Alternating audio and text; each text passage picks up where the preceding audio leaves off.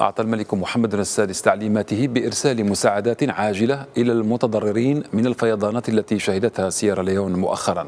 هذا وقال بلاغ لوزارة الشؤون الخارجية والتعاون الدولي إن هذه المساعدات التي تزن 66 طنا تشمل خيما وأغطية ومعدات طبية ضد الكوليرا سوف ترسل بصفة عاجلة ابتداء من يوم غد الأحد. وستتكفل القوات المسلحة الملكية بنقلها.